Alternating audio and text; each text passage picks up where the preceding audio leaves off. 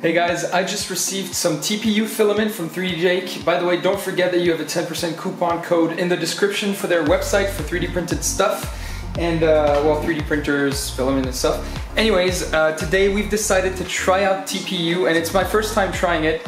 So I decided to make molds for chocolate. So my friend uh, and I are gonna make some pretty cool chocolates to be honest. So we've got one that's like a hexagonal shape uh, with a swirl, one that is uh, basically like a circular shape with a, a place to put uh, hazelnuts. And there's also one that's uh, twisted but conical and one that has uh, like a square pattern thing.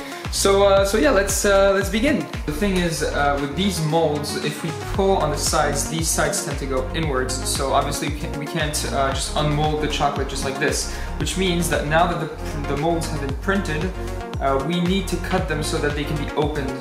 So basically, I'm just gonna cut some uh, some of the sides just like this, just enough so that I can just remove the chocolate easily, such as this, for example. Fights like a tiger when she really wants to. Tomorrow is better.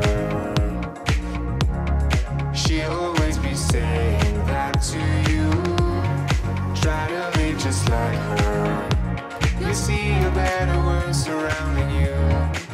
She has a cold heart and wants us to believe it, but she can't hide. The truth is so clear to see when she's knocked down. She always try to face it, everything's fine. Nobody can see her cry.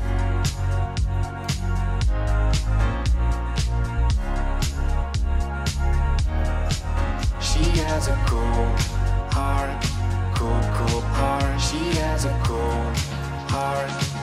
Nobody can see her cry. Thank you.